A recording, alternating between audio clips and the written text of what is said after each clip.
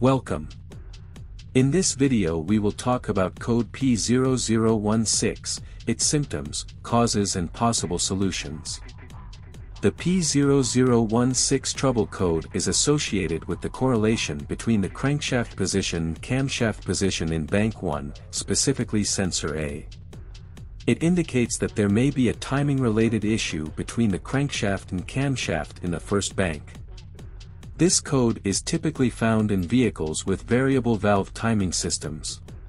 Code symptoms P0016 1. Reduced engine performance 2. Rough idling 3. Decreased fuel efficiency 4. Illuminated check engine or service engine soon light on the dashboard. Causes of the code P0016 1 timing chain or belt problems. 2. Faulty camshaft or crankshaft position sensors. 3. Issues with the engine control module ECM. 4. Incorrect engine timing settings. 5. Mechanical engine problems.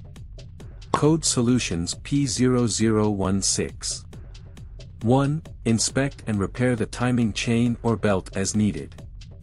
2 test and, if necessary, replace malfunctioning camshaft or crankshaft position sensors.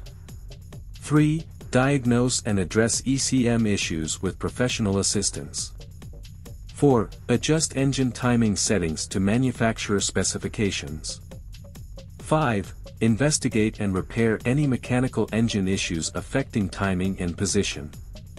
Thank you for watching this video, don't forget to leave a like and a comment, see you next time.